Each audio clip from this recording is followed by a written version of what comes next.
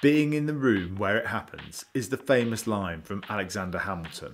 For the last decade of British politics, this man has always been in the room.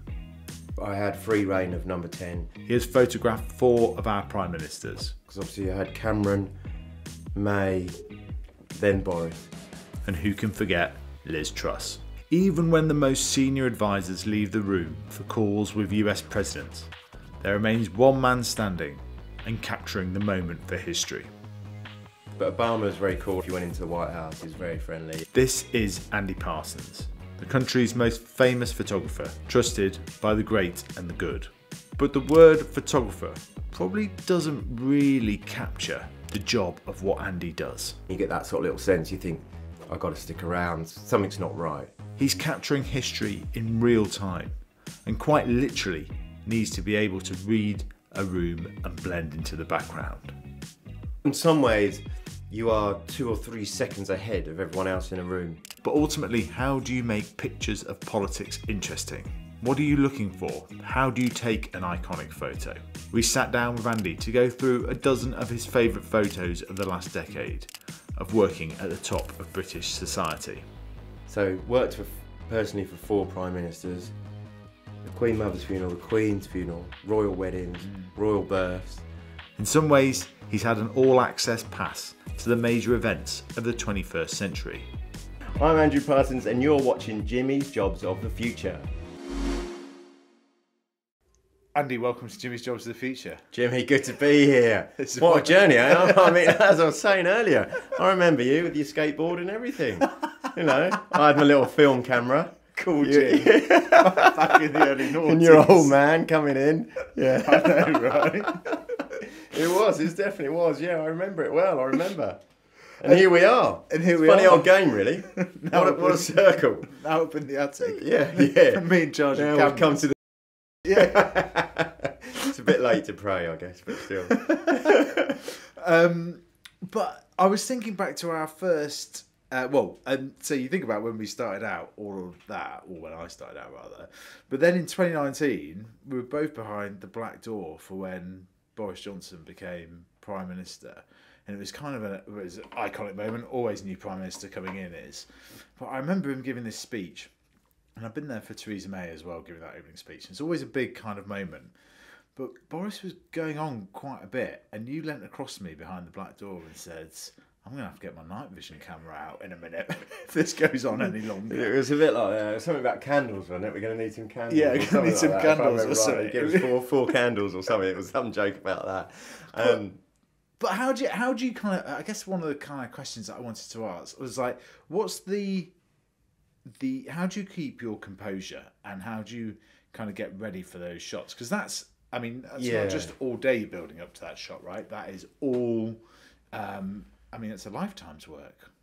It is, and I would have done well. I'd had a few practice runs before Boris because obviously I had Cameron, May, uh, Cameron twice actually, May, then Boris, um, and you're right with that. Without getting too technical, um, it, that Pacific shot is a tricky one because um, you've got the new prime minister coming in from daylight into the darkness because the number 10 is not very well lit. So everything's got to be right. Literally, technically wise, you've got to be bang on, and you usually only get, um, it- you know, it's almost like you're back on the days of the rolls of film where you've only got about three or four shots. Right. Because of the way that the light mixes in and the way the things are. So we, we all tend to make it uh, look a bit easy, but it's one of those shots that uh, can go incredibly wrong. You don't know where or what direction. I mean, you know he's going to come through the door, but you don't know after that what direction or what's going to happen. Usually the cab sec meets them, but you don't know if they're going to come in and block you and stuff. There's a lot of elements to Yeah. it that just has got sort of um, possible disaster into it, as there has, to be honest, with a lot of the type of photography that I do, because I'm not in control of it. Yeah. So like I'm not a portrait photographer with, with the with the subject in front of me on a chair and, and I can direct them to look left, right, stand up, etc. Or an architectural photographer, the building's not going to move. You know, with what I do, it's a fast moving pace that I I tr- you try and second guess. Yeah. But there's only so much of that you can do. Um, I mean, that- that- it- it's exactly. There's, there's a typical example of that actually that, that that you might show is that um, on the night that Cameron got in in 2010, obviously he had the cabinet reshuffle as they as the prime minister does. As soon as they get in, they have a cabinet reshuffle, um, and I would go in at the top of the. The, the uh, into the top of the cabinet room where the table is, and then the, the, the minister would sit opposite the, the prime minister, and they would be appointed to X, Y, and Z. Um, and we got to a stage where actually um, he'd forgotten to appoint your dad as chief. so your dad went round and he wanted to sit opposite, and Cameron's like, no, no, no, you can just do it here. So you, and that made a funny picture. Yeah. And you just don't know. I didn't know that was going to happen. It's just that Cameron and, and your and your and your dad, Patrick, had such a good relationship that it. it it was a relaxed type of uh, atmosphere, Appointment, yeah. but at that that moment in time, you get a bit of a, a sense of what's going on, or your dad's moving, and you think, "Why? Is it, hold on, hold on, he's going to go around," and then you move. It's it's a bit like, um, in some ways, it's a bit like you're, you know, like on a sports field or something like that. You're just trying to sort of second guess the the, the opposite players and work Oh, out where it. they're going to go. That's how I try and see it. It's like, right, what they're doing, where they're going to go, what's what's that all about? There is space over there, you know, and you try and you, you in some ways you are two or three seconds ahead of everyone else in a room Yeah. and you're thinking, right, okay. Or you look for new additions. Um, in one of the pictures, uh, there's Liz Truss is um, when she was prime minister, she's being briefed by a group of people in her office in the House of Commons on the day that um, on the day that the Queen died. Now she was in the chamber, and all of a sudden, people like the cabinet secretary started arriving, CDL started arriving, and I'd been photographing her before because she was getting ready for the energy statement. Yeah. And then I saw it was the- only a second day of the job. whatever. Exactly. Yeah. I, yeah. Wasn't eighth or so I think it was that, yeah. And um, anyway, these these people started arriving, and because I'd been in that room so many times, the House of Commons room, uh, and there I very rarely see the cabinet secretary. I was like, oh right, Somebody. what's what's going on? You know, what's happening here?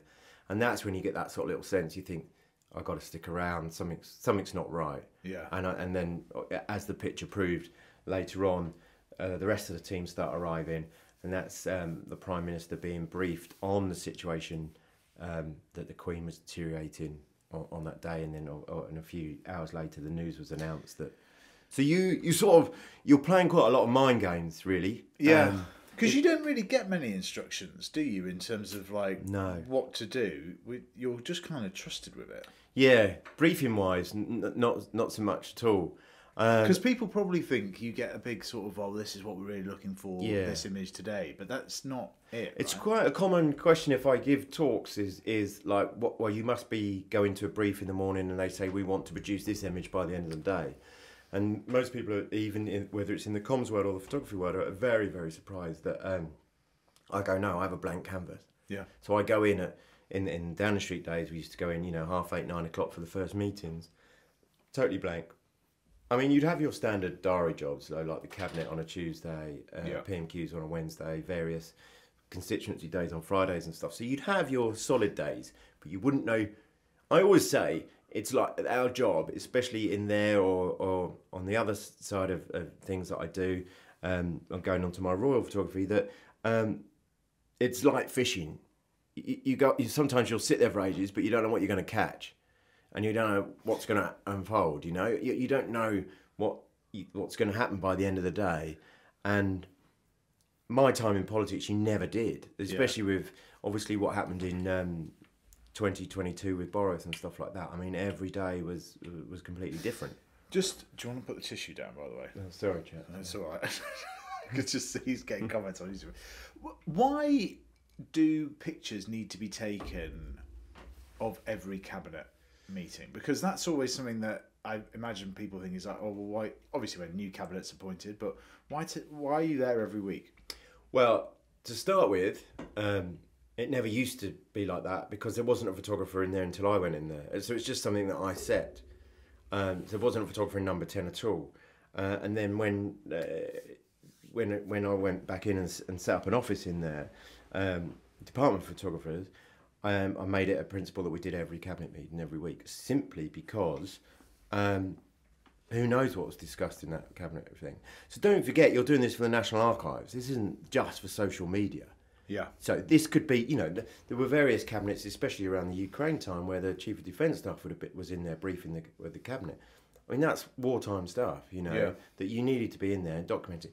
you didn't always know who was going to necessarily be in and out of the cabinet, outside of the cabinet members, and it goes into the National Archives. It's important weekly cabinet, uh, and it therefore it's part of, of our government, and it should be um, documented. And you don't you don't necessarily stay in for the whole lot, depending on how busy it is actually, or whatever the subjects are of the week that are going on. But if it transpires that an hour or two later on, oh, in cabinet this morning it was discussed that this has happened around the world, or this has happened, or cabinet have made a decision on X, Y, and Z. You you need some photographic evidence in time to come. You know. Yeah. Yeah, we've got that. That was the cabinet meeting where they decided about the Ukraine and Russia situation, etc., etc., or COVID, um, and especially when COVID was on, we would do all the COVID meetings and all of the cabinet meetings because, unfortunately, for everyone uh, in the country, the situation was getting worse and worse and worse. Yeah. So, to do that, um, you needed to. You needed you needed documentation of it. It's not just photography you're doing; you are documenting history. Yeah. That's the thing. You have to take the camera element of it away. You are documenting history, and it and, it, and it's a valued document to have, because once you have it, no one can take it away. It's there. Yeah. And um, as the National Archives often said to me, that photography was the most sort of um, more recent time of writing document, writing letters and stuff, because no one writes letters anymore. But you, you photographing in number ten, everything, pretty much everything that was going on. And you and you aren't really told that to leave the room often, right? There's a handful of times. No, so I, yeah, I, I reckon I would have thought about, yeah, on one hand you could count. I was very lucky. I was, I had free rein of number ten, but and you had to respect that as well, though. Yeah. To do that, you had to read the room, when to go in, when not to go in, or uh, or when you know, prime ministers still have private lives, and you you know they might be on a call to the X, Yeah, Y, yeah. and Z, and you're like you get a sense of that. And don't get me wrong, I've walked in. Uh, uh, to, to the prime minister's office a few times where they're on private calls and you're like whoop Yep. time to leave. Um, and you wouldn't go you- in when the queen, when so the prime ministers I was therefore under the queen. Um, you wouldn't go in when the queen call was made. I was allowed. I was I was allowed once to Yeah. do it, and I was. I think I've, I think I'm the only one that's ever witnessed the call either end. Or you know because Yeah, it was during COVID and. Um, uh, Prime Minister Boris, so it was Boris at the time, um, and uh, the Queen. They had their call on a Wednesday night during COVID. Everyone was in lockdown, I believe.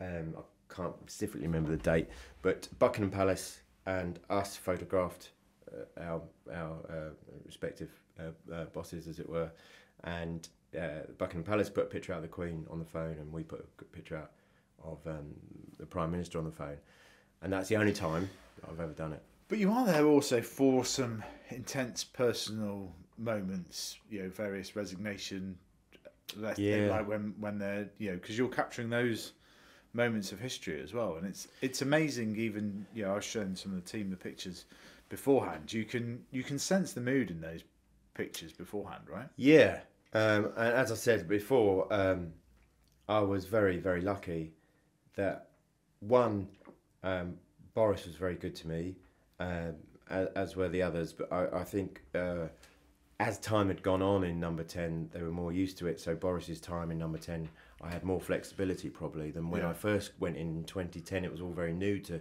the staff of number 10. Yeah, Uh, so as years have gone on, and images have got more and more sort of uh, you know photography's got more and more apparent to everyone really, um, and people started to relax, and my face obviously got.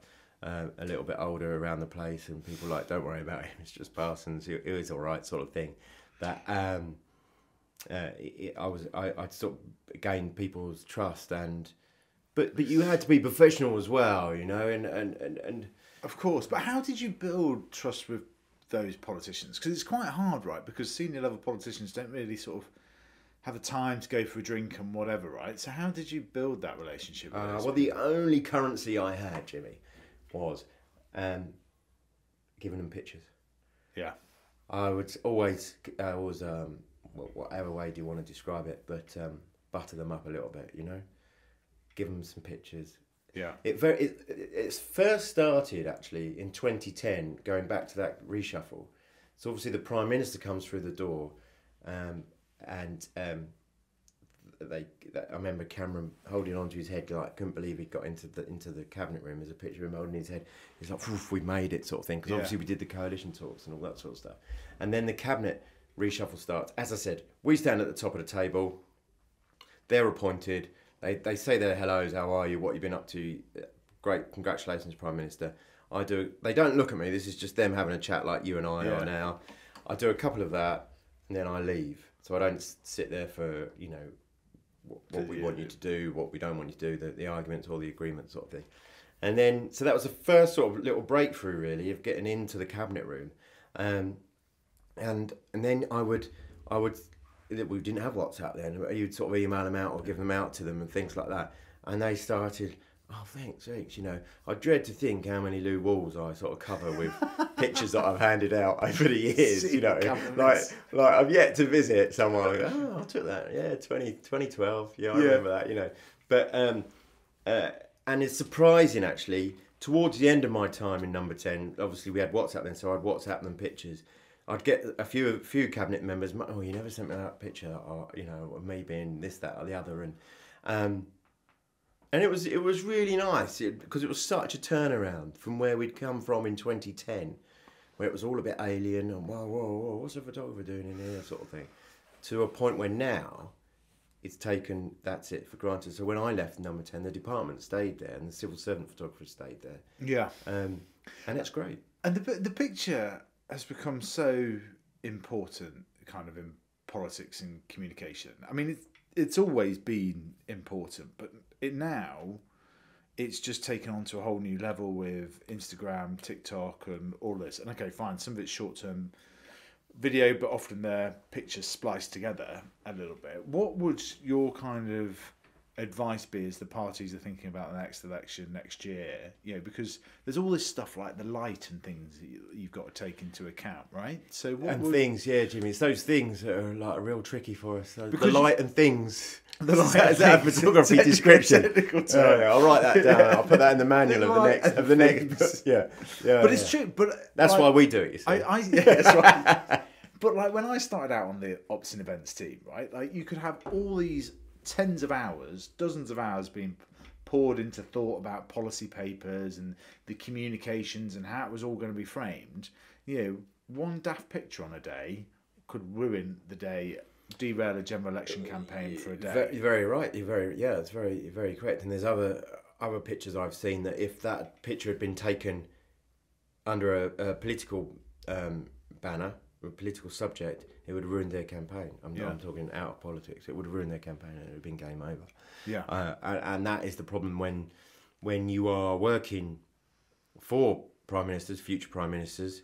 Um, Look, look at the picture the Standard have used today of Susan Hall winning the Conservative nomination for London mayoralty. Have you seen it? oh, I've got to confess, no, I haven't seen it. Well, got it? well, Let's it's it's it, um, yeah. I'll bring it up on um, I'll bring it up on my phone. Oh, to be honest, I'm so slow. She's won, is she? Yeah, she's she's one. We are recording this an hour later, but I tell you, it just but this this for me will define. And you have to be very careful because it's a make or break situation. And the buck stops at the photographer. Okay? I took the picture, I would have submitted it to into the in, into the various That's yeah. That's Yeah. that's the picture Standard have used. Yeah. Right. That's gonna that is gonna define a. There you are. Have a better look at it, but it just I think it shows the importance of Yeah. If I'm honest, that's not done a huge amount of favours, is it? no. Um, and and that's just yeah, uh, and that's just the management side of things, you know. But it's Um, in, but it's in, you know because you're right though that it ends up being the last thing that people think of. But the first thing they need. yeah, Yeah. So, and to a degree now where um, the power of an image is more important now than it ever has been. So, so for me, I'd be on the road um, probably 80% of the time in number 10, out on visits or foreign trips or whatever. Uh, and we were constantly sending pictures back via our cameras. So Yeah. we, we don't sit down on laptops anymore. Um, obviously, days of film are gone and it will be sent back to an editor and the editor will be working on it. When I say working on it, it's very, very bare minimum. It's, uh, we- I- we had a rule that you only could do what you could do in the darkroom, so lightening, darkening, make it, you know, maybe putting a bit of um, sharpener in it and stuff like that. You didn't move things, you didn't change things. You literally just did the colours and the sharpening. So it was moved and it was moved quickly. Uh, and to do that, So that's though- the rules that editors would because that's also an gonna be- editorial editor, yeah, Yeah. yeah. Okay. So newspaper editors, or or for us to put it out onto the Yeah. channels, it's got to be as as real as it possibly can be. You can't start fiddling around with things, taking things out, or hiding, you know, things coming out of their heads by pure accident. You know, light bulbs. Yeah, yeah. No, no, know. but it's quite that's quite interesting because obviously another part of the next election. Sorry, we're going to go off on a tangent now, but it's all this AI generated imagery and so on. Yeah, I was literally going to add that in because I was going to say that um, I think photography now is more important than it ever has been. And going into that election, Yeah. There is going to be, like you say, a lot of AI, and also um, they, the people that are using the images, whether that's editorial, magazines, newspapers, um, the Flickr sites, or, or leaflets for the for the specific um, campaign, have got to know the original source, and it's got to be, you know, the, the right original source. It has Yeah. got to be one hundred percent. That is our original picture. Yeah. You can't have a picture that you sort of grabbed off the internet of the subject that you think, oh, I quite like that, we'll use that. But you find out later down the line, well, actually, it's all been done via AI and stuff Yeah, like yeah. that. By having a photographer, you know, like myself or whoever, they can definitely say that is the source. Yeah. There is the original. We keep everything. We don't throw anything away. That's that's the original picture that I took, and there it is. So you have proof of the chain and the and the background of it, the history of that picture, Yeah. and that's going to be so important Yeah. to start changing the images around, you then start going into the propaganda even more than people think you're already in propaganda. Yeah. Then You're now going to go even deeper into sort Yeah, of right. North Korea style. But that's in, it, it is interesting that there is a, you can lighten and darken, but that's basically well, there's no given rule, but that's the rule I set in Yeah. number 10, you know. But then I trained on film, so that's all you could do. yeah. So it, it- there wasn't anything else to do, you know. That we, when we first used film, you, you couldn't afford to mess around. And also, I trained on newspapers where you didn't have time to mess around, you know. Yeah. When we were on film and I was working at the Times, you'd have a biker waiting for you and it would rush back to the dark room. And if you were doing a job in London, say for the mayor today, it was this morning, but say it was if it was an evening um, shoot tonight they announced it at five o'clock, you'd have a biker waiting for you. You'd give him the film and he'd zoom it back to Wapping Yeah. get it into the dark room. You'd make your way back, or you'd phone through to the picture editor. Frame maybe twenty two might be all right. He'd look at frame twenty two, and then then the mechanism would start working. They'd start printing and stuff, and you might get back to the office in time to see it. Yeah. So you didn't have time. Really interesting. You know what I mean? Yeah, It- yeah. That was that was your target. Was take it, get it onto the messenger, and away it went. And then eventually, if the job was this morning, you drive back to the dark rooms and say, "Well, that's that looks all right. That's fine. That's fine." Yeah. Um, and in some ways now, by I have an editor all the time now. So I have a guy that works for me, just just editing stuff live from whether I'm doing, um, you know, whether it's from, from my royal photography or, or political photography or whatever. Even if I'm doing an av, I do quite a bit of advertising photography. He'll still edit for me. So that's quite an interesting job then, isn't it? Right. So that's yeah. So that's the just an editor that kind of sits at home that you're sending stuff back Yeah. to and whatever. He used to shoot for me, and now he's decided he wants to, edit. He's been around with me for years, but you need that person. Um, one to get it right. Two, you got a second pair of eyes on it. Yeah. Like today, for example, is a classic example. The number ten, I put some pictures out of um, via CCHQ, whatever, of of documents that aren't blurred. Yeah. I mean, they literally have just, you know, left the goal wide open, and it's gone, and it's stated on the documents just what they what their true feelings are about the uh, by-elections on Thursday night. You can't afford that. You can't Yeah. afford that to happen. Now that photographer can blame anyone else, but you can't. You took the picture. Yeah. You knew the documents were in front of you. That's the way it, it. That is as cutthroat as it is. You know, a, a picture, as we said earlier on, a picture can make or break. You can write a wrong press release and maybe put a few um, different figures in it and stuff like that. And I'm not um, belittling that, but you say to someone in two years' time, "Oh, do you remember that press release? It had a, it was about two thousand figure, you know, out." No, I don't quite remember. Oh, do you remember that picture that I took in the cabinet Yeah, yeah. room on the eve of the um, by-elections, and they left their sort of their true feelings out to show everyone, and the opposition therefore went, right, well, that's what the that's what the Conservative government really think. They're I- going to remember that. They're not going to remember, No, you know. Uh, yeah, exactly. I always give the example of Theresa May's trip to Africa. No one can remember any of the major policy announcements that were done on that trip, but everyone can remember the dancing, Dancing. right? Like totally, uh, which I actually think was quite good. But that's story Oh, yeah, to the point where she continued it at a conference to, Yeah, to all yeah, about. To, I remember that. I exactly. did remember covering that conference to a great surprise.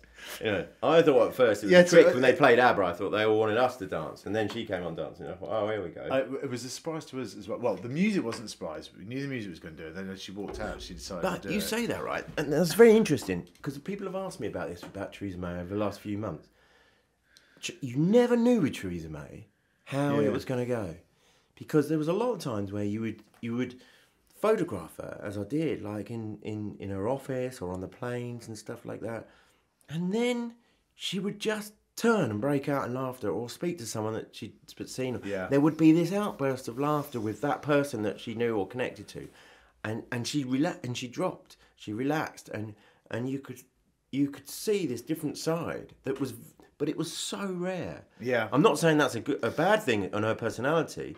I'm just saying she did have that, but She people didn't that. see it. But didn't see it. No, I think that's true, right? Yeah. Um, and it's. Uh, I mean, I know that's what something you've been asked a lot about. Is like who is the best kind of person to uh, photograph and so on. Um, but yeah, Theresa May did have those kind of moments where she was able to sort of do that, and it. Um, yeah, it's. It must be. Inter- what what makes for a good political photograph? Um, uh, there's various of things. It's various of things. Depends on what sort of mode. When I say mode, in whether you're in campaign mode, or whether you know whether it, you're in uh, serious. That you know they've just done a trade deal mode, or um, I always think the campaigning ones um, are the best types when you go out and meet the people. Um, simply because you'll often find most politicians relax then Yeah. when I say most, like uh, obviously Cameron, Boris, Rishi were very good at it. Um, um, I swear I didn't do a huge amount of campaigning with, with Liz or with Theresa, um, and the bits and pieces I, I did do, uh, nothing springs to mind.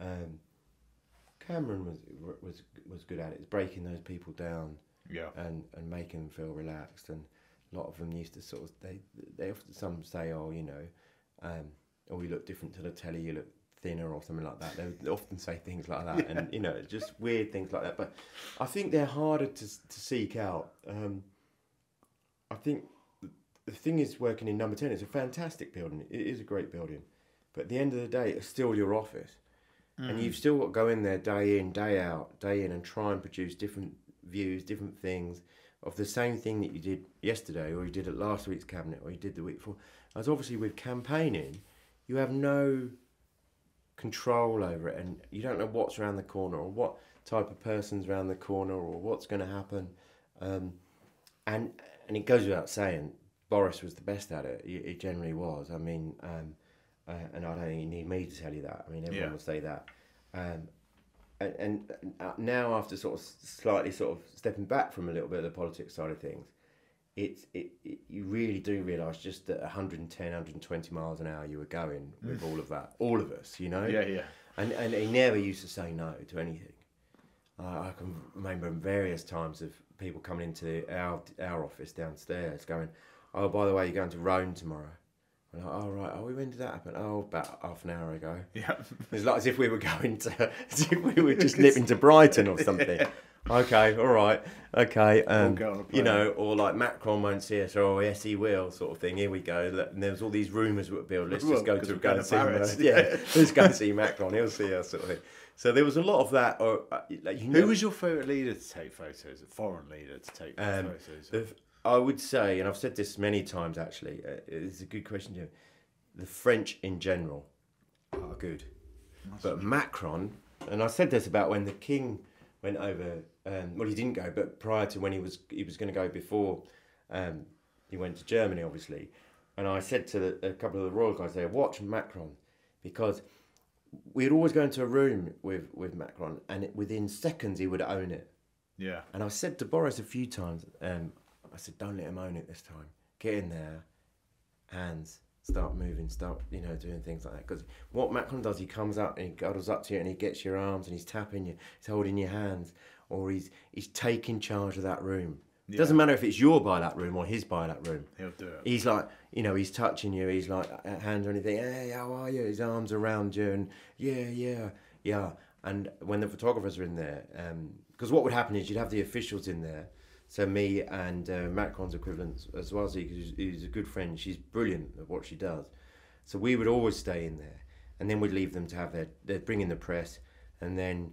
Um, then we'd leave them for a bit for for bilat talks, and then we would join in about the last five minutes again, and you know he, Yeah, there was a lot of that going. on. He was very aware, and not just with Boris, but I remember at the G seven, he was all over Biden.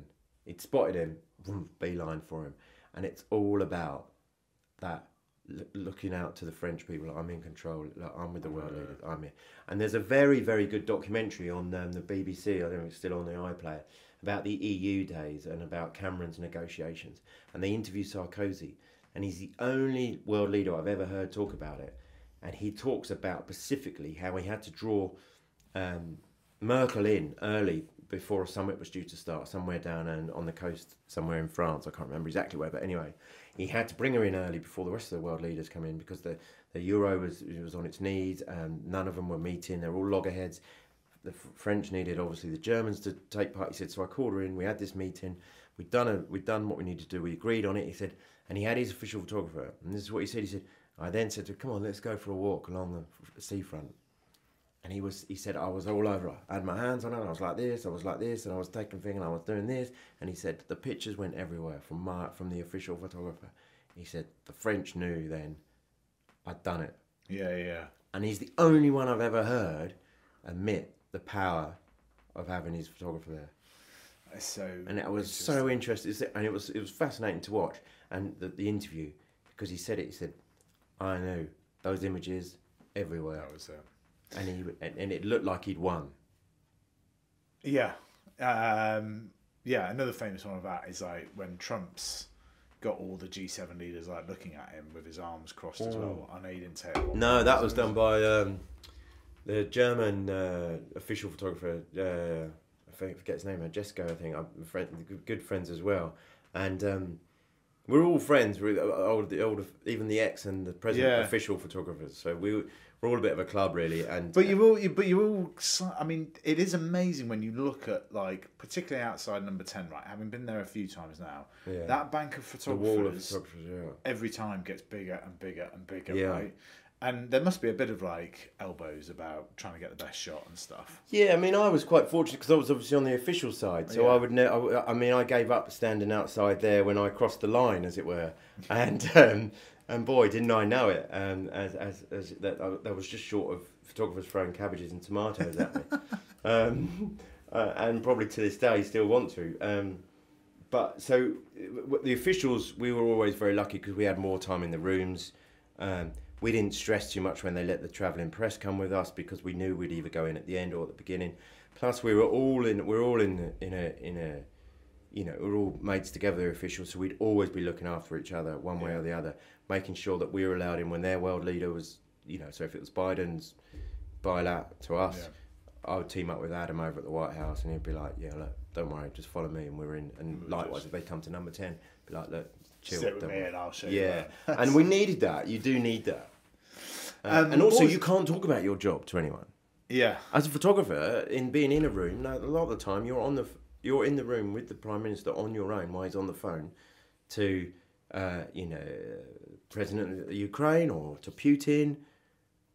You you can't just go out into the street and go, oh, you know, what you've been up to, lads? Oh, yeah, well, you know, you know, it's it's a bit tough in there at the moment. But What- when you're with the officials, not that we ever discuss what's happened on the phone, but you can have a bit of a a, a, a trustworthy conversation. What was um, Obama like to photograph? Ah, he was all right. He was really cool, yeah. And and and he, Pete Souza, who, was his official photographer, he was um, he he had a very good eye, and also with that eye, he had a very good subject. Um, and, uh, obviously, he had um, Obama, and um, I had Boris. Yeah. so you Slightly know, different. So you can set out in your mindset what you want to achieve from when you walk into number ten to when you leave, but you definitely get um, thrown off course. But Obama was very cool. Like if you went into the White House, he was very friendly, and as Yeah. he was when he came over here, I remember doing him and him and Cameron playing golf um, together one one Saturday afternoon, and yeah, and you know, he's very relaxed within himself, and you need that as a photographer, and, Yeah. and sometimes half your battle is making that subject be comfortable in themselves, and and Cameron and Boris were like that. Yeah. And Rishi, in a, in a Rishi, in a way, it, it- you know, I, the stuff that I did, I did a lot with him as chancellor, and when he um, prime minister, and even politically today. Today, um, it's almost when they see you because you're an old face that they they do sort of drop a bit and like it's okay, Yeah, you know, it. it's fine, you know. Um, and as I say, I quite often would send them pictures and, but also just for a memento as well, you know. Yeah, right. Because they're they're busy as well, right? Yeah, and also time just moves so quickly that they forget that they're there and they've got nothing to look back on. So it's, that's another important reason for it. I mean, look at your dad, the picture we were just talking about. Yeah, yeah. 20, 2012, so what, 13, um, 11 years ago. And Yeah, there we yeah. are, and there we are still talking about it now. And that, when I was looking for that, I was finding some of the coalition talk stuff that he was involved in. The shadow cabinet when Brown's resigning. Oh, that's an yeah. amazing photo. Yeah. that is. Which I found last night as well, Yeah. looking for it. I was like, oh god, I remember that portcullis house. Is he going to resign? Is he? That's it. Yeah.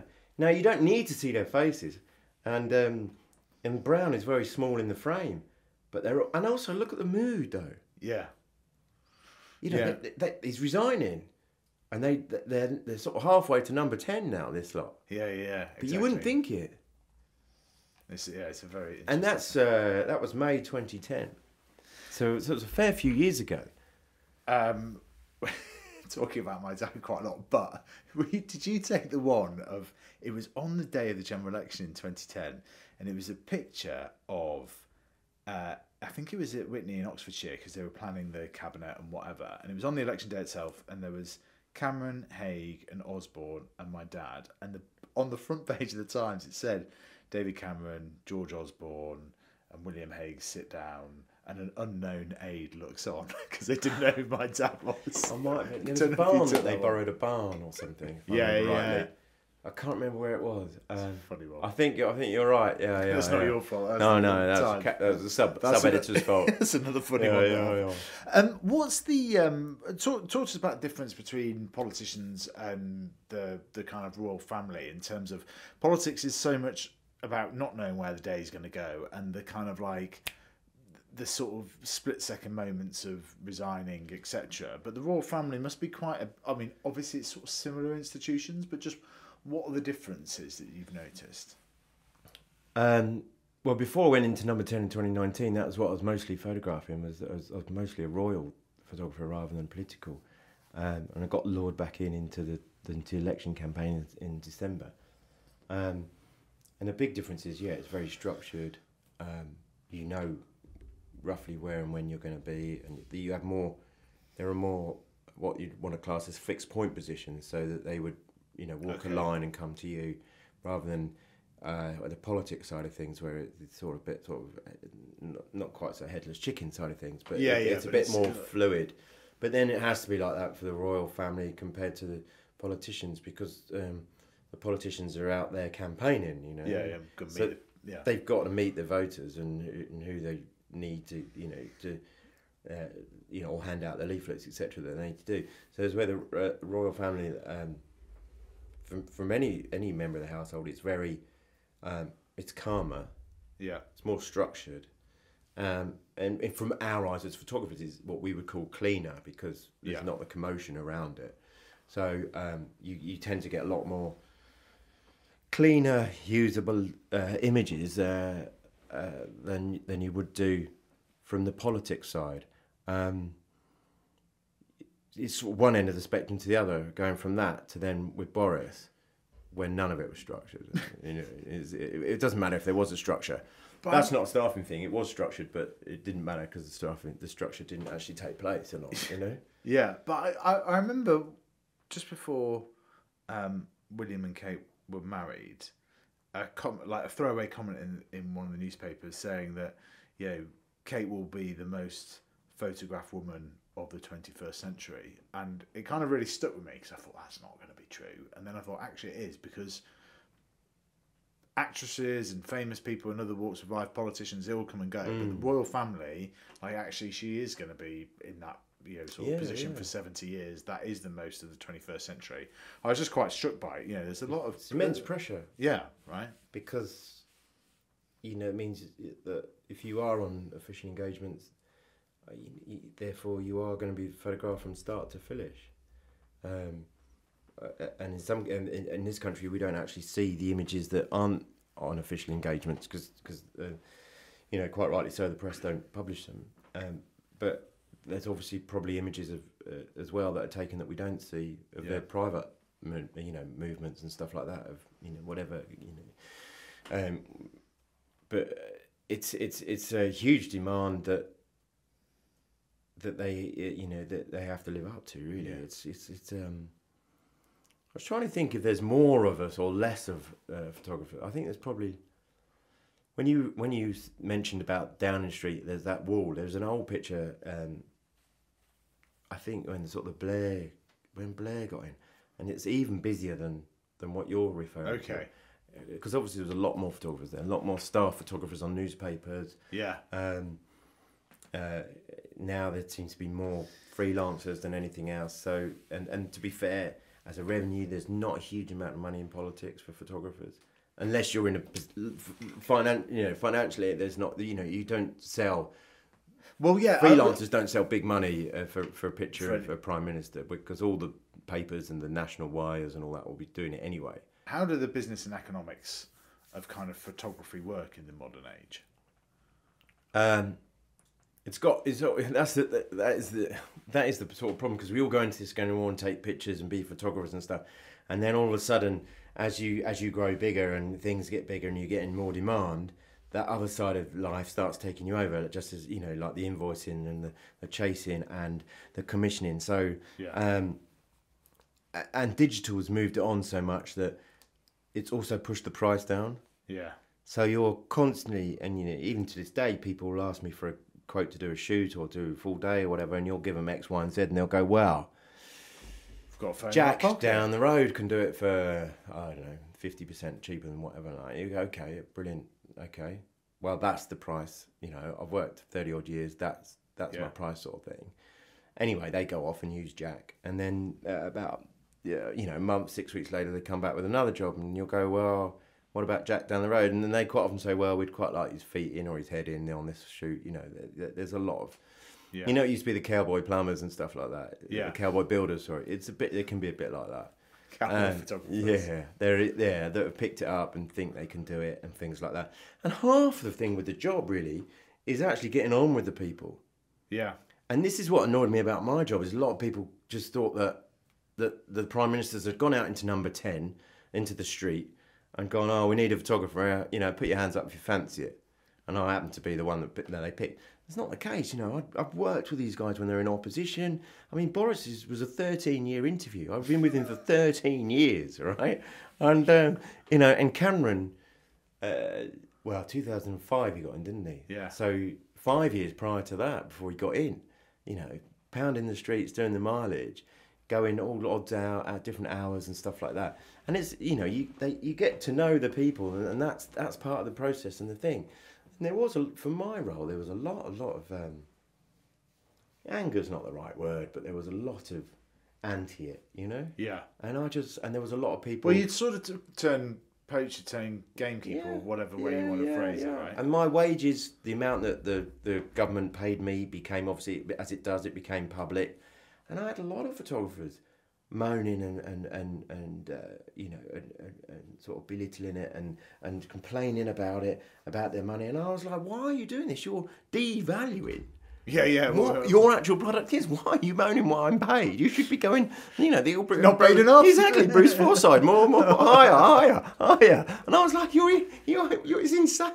Yeah, yeah. Why are you moaning about what I'm paid when you're a photographer? You know, oh yeah, that's like me going, I'll pay you twenty, and you're going, no, I'll have ten. Yeah, yeah. Like, and you're like, it just, just didn't make business sense. And that, it, the, I do think, and I, I don't wish to be harsh on photographers one little bit, but there is that element of um, you have to be business savvy now. You have to be. And for anyone coming into the game, don't think it's as lovely as just taking pictures. You know, it's it's a job um, digital has changed it. A lot of people think, well, you've only got to take a few pictures. Yeah. that's fine. You go, fine. We'll just go and get someone that wants to come and take a picture.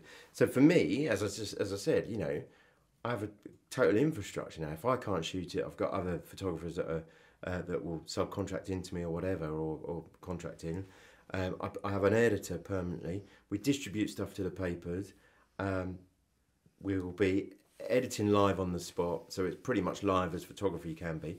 We'll store it on servers so you keep an archive. The whole point of having photography is to keep the archive and the legacy.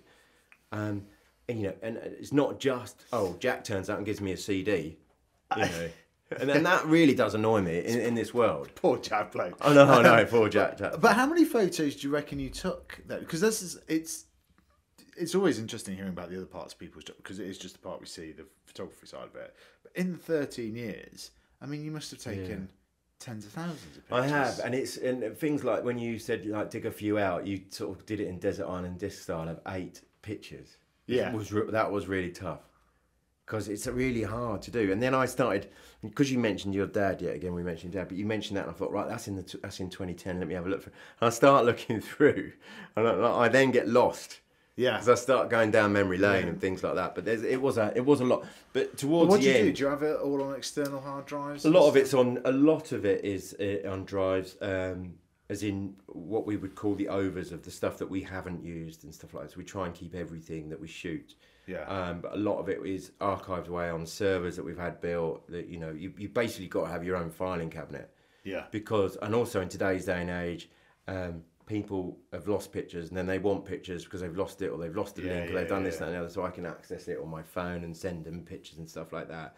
Um, uh, but it, it's very hard to play catch up all the time which and, and this is what i would say to anyone seriously if you start expanding and you into the photography world and you start doing well the most sound investment you could probably buy into is to get yourself a freelance editor Right. because what what you'll find it for me, and don't get me wrong, the, the chap's name's Pete McLean, and, and he, he he's, he's he's a lovely guy. He's he's, he's patient, um, and I'm, I, as being photographer, he's a photographer. Obviously, I'm a photographer. We will have a little bit of a rant over a picture. I'll be like, no, no, you that's not. You've not cropped it right. You've not done this right. It's very much rugby orientated on the pitch. Yeah, yeah. But at the end of end of the shoot, end of the job, we're like, he'll be like, oh look yeah, you had a bit of a moment, but we got there in the end, sort of thing. And that's what you need. You need one, you need another pair of eyes on it. Two, you need someone to keep you level. And thirdly, he can be editing something while I'm moving on to another shoot. So if I didn't have him, I would then be editing the next day, and I'll be cutting into my time and not shooting the next day. So you also, in some ways, I would tell it to any young photographer now: work towards having an editor. Oh, yes, sir. What and what what advice do you give to people starting out? Because it is one of these jobs that, like you say, barriers to entry have come down a lot in the last twenty years. In terms of you don't you know, everyone walks around now with quite a high quality camera. That's not to say that anyone can be a photographer by any stretch of the imagination, but it means more people are trying it every day in their lives and think, oh, I might be able to do a bit more of this. What advice would you give to aspiring photographers? if you're trying to get into the editorial field, um, it is quite hard. It's, it's, it's one of those jobs, one of those creative jobs, just you know, say like in the music industry, fashion industry, etc. Yeah. Um, you've got to keep going. You've got to keep tapping on that door. Um, I'm afraid to say, in today's world, there aren't many staff photographers' jobs left. Yeah. So you've got to have that mentality um, of being able to work for yourself. That means you know you do a lot of juggling. All of a sudden there's no shoots, and all of a sudden there's like uh, you know you've got five day shoots on. All of a sudden they want them all at the same time. All the buses Yeah. coming on, and you've got to juggle that. Um, and as you expand, as your name gets bigger, the demand gets bigger. People, if you can't do it, they don't think, "Well, I'm going to wait." They then then go somewhere go else. So you else. you really, uh, you know, some days you'll be like, "Well, why haven't like, um, why haven't I got anything on this week?" And then next week it goes goes totally the other way, and you're like, "Ah." So the the balancing of it all, and also the, to be, you know, you've got to be sort of quite mentally strong about it or not beat yourself up um, and just keep going and keep knocking on the doors and and keep taking one thing I haven't done of late and for a long time is take pictures for me. Yeah. I just haven't. yeah, yeah. It's just impossible. Um, and I've still got loads of editing to do now of, of jobs and things. Even even with an editor, I'm still having to. I still edit a few bits and pieces that I want to edit, or some of the political stuff anyway. Yeah. That's been left over. Um, And how do you? How did you get into it all? I was very fortunate. My dad was into photography, so we had a dark room at home. And when I was about seven, he bought me a proper SLR camera, and we had. I was, as I said, fortunate to have a dark room, so I would quite often develop films and mess about uh, in there. And then he wasn't a photographer; he was, funny enough, an optician. But he he was the one that he sort of I remember. Yeah, seven years old, handed me the the SLR camera. You know, take the lenses off the front and film and everything and um, and away I went. And then I got into photography college before I left school, which was was a little bit of an issue now looking back because I sort of then took the foot off the old accelerator and thought, well, I'm going to go and do what I want to do. I'm going to be a photographer. And um, sort of perhaps the other side of school um, took a little bit of a wayward thing, and and I didn't. And I went to photography college, and then um, I originally wanted to be an architectural photographer, believe it or not, when I was at college, and then I got a job um, freelancing on the Cambridge News. That's where I'm from, Cambridge. Yeah. And I got a job on the Cambridge Evening News, freelancing. Someone left. I then got a staff job. Then I wanted to come to London, and um, the picture editor of the Sun had a Cambridge connection, so he felt that it was, you know, and it just clicked. There's a lot of things in in this job where one being in the right place at the right time, just for the photograph, but also for other things, you know, um, other openings of people that want to help, and there are a lot of people out there that want to help um, in the job. Um, it has changed, unfortunately. The money isn't there. Big big companies, big agencies have driven the price down. Yeah. I'm very fortunate that my archive, no one else has. Yeah. But if you're, if And will you you're- make stuff off royalties for that then and such? you like? do make bits and pieces, yeah. You do make bits and pieces, but we're not talking like people think. You know, we're not talking fortunes. Like you know, I haven't got a string of speedboats parked up outside the front of the house. It's not that. It's what people do think. They think, oh yeah, here we go. You know, Yeah. um, here's another extension on the house. As uh, the likes of Ben Gascoigne and, uh, and Declan Lyons used to joke about, oh here he comes. You know, yeah. I saw a picture of yours the other day. What what leg of the house is that sort of thing? You know, there's all those jokes, but the money the money's not there for that. But the the beauty of me is if people come to me and want to buy a picture, it isn't anywhere else. And then you give them a price and they go, well, X, Y, and Z doesn't charge me for that. And you go, well, that's funny, isn't it? Because X, Y, and Z don't have it. Because I was the only one in the room.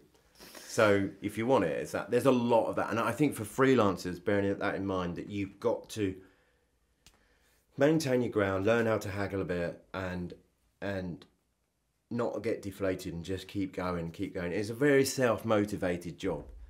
Yeah. know. Like you just said about the cabinet, why do you do cabinet every week? You're right. You know, you've got to have a bit of motivation to go, right, here we go. A bit of interest. Cabinet members are going to sit around the table again. And was it hard to sort of, and how do you kind of keep the distance? I mean, it's clear that you kind of got on with Boris and the team there and so on. Like in those days when everyone was resigning, the government was collapsing in on and around him. Do you feel any kind of emotion? It's very it's it's funny you should mention that because I I specifically remember day, going back to the days when Cameron was leaving, 2015.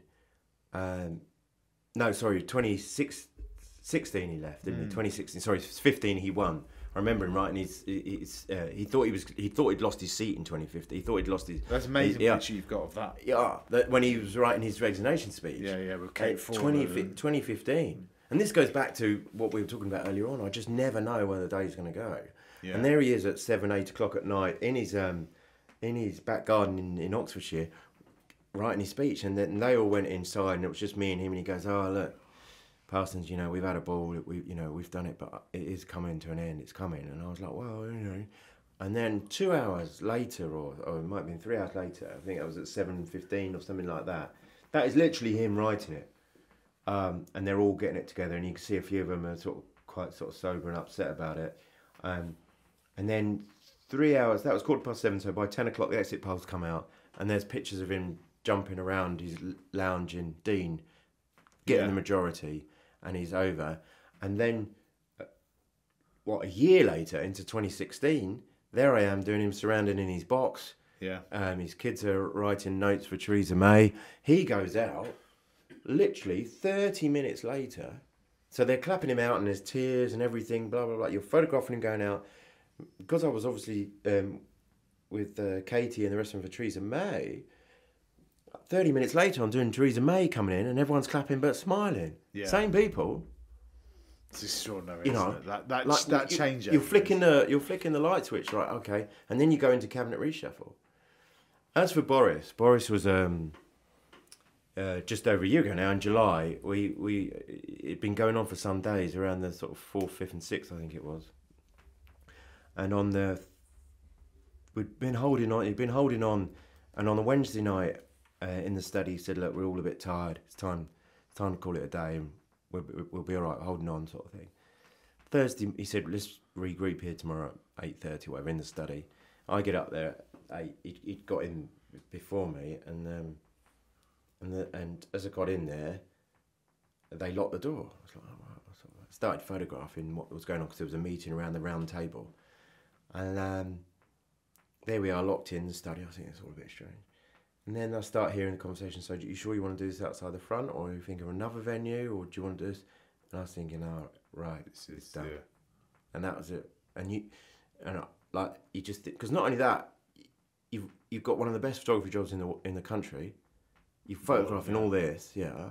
You're up there with, you know, like you say, the, the French leaders, the the US leaders. You know, you're in this you're in this elite gang of Yeah, yeah. photographers, um, and it and it, woof, you know, and all you hear is, "Do you want to do this?" And I and you know, it's over, done and but you've got to keep going. This is just now you're going to start again because you've got these days. Writing his resignation speech.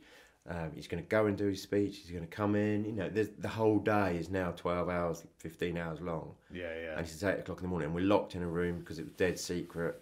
There's only about ten people in there, uh, and and you got to, you know, they're obviously all looking sort of devastated, but you got to keep going. And then he goes and makes his speech and comes into his office, and there's a lot of tears from various, you know, um, uh, people that worked for him, and you're still photographing, knowing you're out of a job as well. I mean, I I was, I was even lucky. thought about I was lucky. I was lucky because I stayed with Liz, um, but I wasn't. I was one of the few. I was one of the few out of fifty. Of, I think fifty odd spads. Six of us Yeah. survived. Um, but at that time, I didn't know that because we didn't know Liz was going to win. You know. yeah. So, so at that Uh, and- time, you're on borrowed time. Put it that way. And let's flip to the other side 'cause one of the most iconic images that's been taken, of course, is the uh, of one where he finds out his exit poll result when he's in number ten with Cameron as well. What was what was that like? Because that's a real like God, you've got to get that made. Yeah, yeah. Right. it's almost like if your camera's on the desk, yeah, you've missed You- it. Yeah, exactly. And you're not. And the same with Cameron and, and Dean. You know that one there, and that picture's been used so many, so many times um, around the world. Um, and it, it, it, like you say, it's. I guess it's the equivalent of us from a sports photographer, like with a World Cup goal or something, the Yes. winning World Yeah, Cup yeah, goal. it You know, is, it's, right. it's, it's that they sit there. Sport photographers, they have a. uni- I used to do a bit of sport myself years ago on on various agencies, but you really do have to predict that because the ball is, you know, going all over the shop. Um, with that, at least you can hear in the background the telly's on, blah blah blah. This is coming out, and the result is, and then and then it goes. But that resorts back to that. Resorts back to what we are talking about coming through the door. There's a lot of technical things that can go wrong. yes, there with that shot, right? right? I mean, the cameras are sophisticated, but at the end of the day, they are still a box with a hole in it, right? and it's you and everything, and you've got to tell that box what's going on because I never use my stuff on auto or anything. It's Yeah. all manual. I almost use it like a film camera. I, I, I never let it tell me what's going on because Yeah. it spooks the life out of me. It's where I can go right, X, Y, and Z. Here we go, and and you get you know I get about three or four lives because your flashings and the flashes going off and stuff like that, and. uh, yeah, was, I mean, it was used as a wrap around the Sunday Times and, and, and, and constantly thing. But that is minutes when he has just realised It is. he's just changed his political history Yeah. uh, with the majority. Um, And you're the only one there, so you can't say to anyone else, oh, yeah, that yeah, went a little bit wrong. Like. You just got to do it. Yeah. And unfortunately, you, you say this about the, the phones now. They don't work in our favour either because you can say, well, it didn't really, nothing really happened. Oh, well, that's funny because um, we got this phone picture. Yeah. you're like, oh yeah, yeah, yeah. Well, he might have had a little bit of a celebration, but nothing much. Yeah. Well, it doesn't look like it on that phone picture. You know what I mean? Yeah, yeah. Like it's where before, before phones, and you went, no, he didn't really do anything. Just sat there, nodded. Like you, you, you know, you, you're sort of slightly snookered. Yeah, totally. Yeah. So you, in some ways, the pressure is more now. Yeah, because yeah, and it comes back to that thing of everyone thinks they can do it, right? And Oh. Jack down the road as well can sort of do it, but there, there's a lot else going on there. Um, I guess what- we refer to Jack Doyle because he always used to say to me, "Oh, just take a picture past him." So, me and Jack Doyle have known each other for years. It was hilarious when he became comms director because he used to write my captions at PA. right, When yeah. I was at PA, he was a junior reporter, and he used to, they used to do stints on different desks. And he was on the picture desk once, and he had to write my captions. And photographers are not known for their, their use of the English language, and he used to write it. And then he came comms director. I said, "Oh." I walked into his office one day. I said, uh, "Normal rules, yeah? You're going to write the captions for me?" and then he used to spurt off. Like, oh, can you do this? Can you do that? I said, "Oi, just remember, Just remember you're a caption writer, mate." Amazing. Love Jack a bits. He's a Um, good lad. He really is. Good Oh, lad. there's this this, this um, picture. I wanted to ask about this because this is Yeah, recent, si- recent. Yeah. Yeah. yeah, This is um, um, Yeah, it's just up on the campaign that we've done. But it was, uh, I mean, that, yeah, again, you know, That's an amazing Right place, colours, right? right. yeah. I mean, the wall lends itself to it and the reaction and, and just the way that that is framed. Um, and, and, and yet again, you know, there were three of us there, um, three photographers. I, I decided to keep the net in because to me that's what you needed in it. And I, Yeah. the pictures that I've seen, other pictures I've seen, the net wasn't. I don't. They just centered in on the main subject, and you're a bit like, I don't understand that thinking, but still, um, it, and obviously it's more the reaction of the the the uh, actual members of their team, if you see the team, Yes, as it were, yeah, the, yeah, the, yeah. the basketball team. It's more their reaction that draws you in. Um, So where was that taken? uh, Sheffield, that was taken, yeah right. Okay. and it was um, it was just a split moment, and and it, that's one of those things where you're like, right, okay, this could go either way, Yeah, yeah. um, and you, and you got and you got to be honest. Uh, But people might say, oh, that's easy now on modern cameras, you can do this.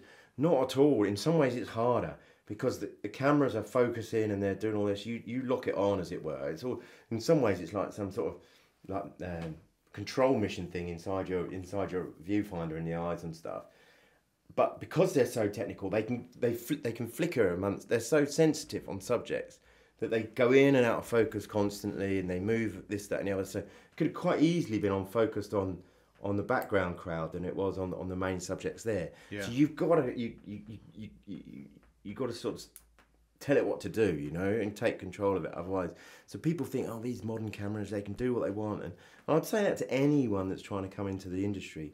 Don't be fooled by the the thing. camera and the kit. You know, all the gear but no idea. It, it- that, that's a very good theory for what we do. Always resort back to box with a hole in it. There was one, not that one, the Queen's funeral. Yeah, Just- so that was one of the ones you picked as well. That we, I was saying. simply because that's yeah. So the reason I picked that simply because um, I remember doing the Queen Mother's funeral, yeah, and then obviously um, X amount of years later you- you're doing the Queen, and and that's when you start realizing just what you have done in the job. You know that you're now starting to see various events. So worked for personally for four prime ministers. The Queen Mother's funeral, the Queen's funeral, royal weddings, royal births, um, coalition talks, yeah, yeah. uh, Tony Blair coming in, you know, and you, you start thinking of these events, you know. Are you going to do an exhibition or something at some Uh, stage? Is that a way to make? Uh, Yeah, I'd like. I've, I've, I've, I've sort of got a book deal, and I'm just trying to work out um, how to, how to, you know, get it funded correctly and get it right. I mean, my my daughter's pretty uh, uh, severely ill at the moment, and um, she's got really bad um, uh, severe epilepsy on the back of her being having cancer, and I'd like to do one to raise money for children with epilepsy or children with cancer, one or maybe tie it in with both, because um, you know the, the, it's it's hard with, with the epilepsy because with the cancer they know how to fi- if if it's the right sort they know how to fix it. Yeah. With epilepsy, we're still a long way behind, and she, I think she's at the moment they're saying she's sort of like the only one in the UK with this type of epilepsy, and it's severe. It really is severe, and there's about eighteen in the world. So, uh, you know, just uh, we did it before with we had an auction when she had cancer. We raised some money for it ye- years ago. So if anything, I'll do it for that. Yeah. That's what I'm trying to do. But I've just got to I've got to get it off the ground a bit more, and I'm sort of looking for various ways of. Uh, sort of basically financial backing for it to happen, really, um, and that, that's one one way of doing it. But my main incentive here is to give it into the into the charity or whatever they're doing it. But but yeah, it's um, it's been. I mean, look, it's been really interesting doing the whole thing that I've done. How have you found talking about it? Because you've gone, you've done, you've done a bit lately, right? You've done Yeah. Matt Chorley, Sophy Ridge. Well, I spent Jimmy's 13, Jobs. 13 years, Jimmy's Jobs, yeah. Um, I've spent 13 years of not really talking about it. Yeah, For that reason. behind the- yeah, being- yeah. For that reason is because you sort of taken on, and I'm not going to give away any trade secrets. It's not my job to do that, and I don't want to do that. But um, it's been quite good talking about it, like time to reflect on it and Yeah. what I have done. You know, Brexit, to, Brexit itself, Remain and Brexit campaign. Um, uh, God knows the amount of general elections. No to AV. yeah, Remember yeah, that yeah, one? Yeah, yeah, Yeah, 2011. that one out. Um, I'm trying to think of a few others that have gone along. The mayor elections, Yeah, um, and uh, and oh God, was it four? Or, I don't know. I think it worked out as about it's either 13 or 15 major campaigns or something in a period of time. And as you know, some of those campaigns are like six weeks long, um, and and you've Exhausting, seen a lot. But, but, but look, you know, it's the most awarding, real awarding thing about it is, is that there is now a photo department in Number Ten, regardless if I'm there or not. That wasn't there. It's there now. It's you know, this is, hopefully the civil servants that are there, or the civil service, as it were, will keep that strong. It's, it's an important role now, I mean, more so than ever. Um, and to young photographers out there, go and find something that you do actually love doing, and work at it and work hard at it, and just bang on doors and doors and doors and doors, and and you will get no's. You will get no, no. And I used to have it with the. I used to have it with the Conservative Party with Cameron. No, you can't come into this meeting. You can't come into this meeting. And and then you just keep chipping away. You kept chipping away. You keep chipping away. And then next thing I know, you're in number ten, and there's you've been asked to go to meetings. It's gone the other way. You're like, all right, really? Do you really want this one? Yeah, yeah. Uh, and to photograph all the stuff behind the scenes at, um, in COVID, yeah, all that documentation, all the scientists briefing, um, the PMs and the health sec, uh, all the times when news was coming in, how bad things were going to be, you know, being that fly on the wall, being able to blend in, and not being told to, um, to, uh, you know, to, to actually get out or, or move on or only spend a minute doing it was. Um, was was really impressive. And I, always remember when new members of staff used to join, senior members of staff used to join um, private office. I used to wander in the room and they'd go, oh, what have you done now? You done? I'll be like, no, no, no, no, no. I just sit there. I'm here. you know, like, You'll be going yeah, before me. Yeah. Oh, oh, right, right. So, and I'll be like, yeah. Like they're trying to fish you out, sort of thing. Be like, well, you, you know, PM's not said anything. And it was always quite, and and after a while they got it, but Yeah. you can always remember the new people, you know, the higher end chief of staff's new people and stuff like that. Yeah, yeah. Um, and that's why it was always a joy when people were appointed that I'd known from previous backgrounds, whether it's politics or royalty or whatever. And um, but yeah, it, and, I also like doing it in all seriousness so that the people that worked there had a memory of it as well, not just Yeah, yeah. PMs. You like yourself, you know, Yeah, you're yeah, just talking about the doors and stuff like that. I'm bound to have a picture of you watching that speech on a television. I'm pretty sure I have. One You day, know, one day, you know, one day. come I'll across it. find, yeah, you're, you're, yeah. Don't tell uh, other people you got it first. Yeah, yeah, there's, a- yeah, there's a yeah. list. There is a list. It's a, But but for young people, just keep going in photography. going. It's a fantastic job. Um, you get to see and hear a lot, whether it's at top end of government, whether it's local newspapers, whether it's a project you're working on with a band that you like. It's a it's a journey that you just do not know where you're going to end up, and it can be one that just opens up a hell of a lot of doors that, that you don't want to ever close. Really, brilliant. Andy Parsons, thank you very much. Jimmy, thank you, thank you.